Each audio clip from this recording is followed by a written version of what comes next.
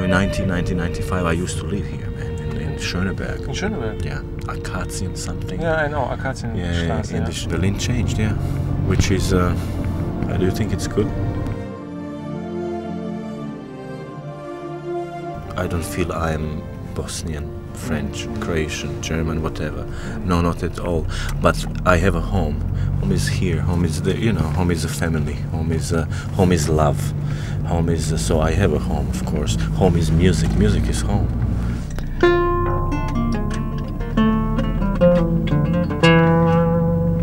I was always attracted to physical beauty of the lute.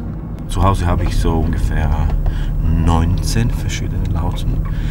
Und die- hier ist die äh, italienische Archiliuto.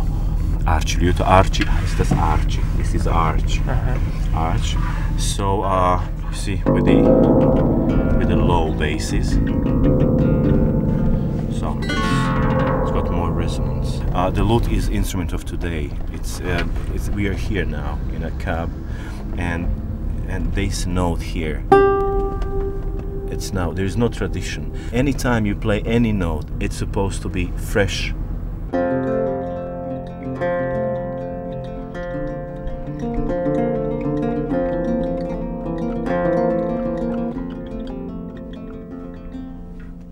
total schön.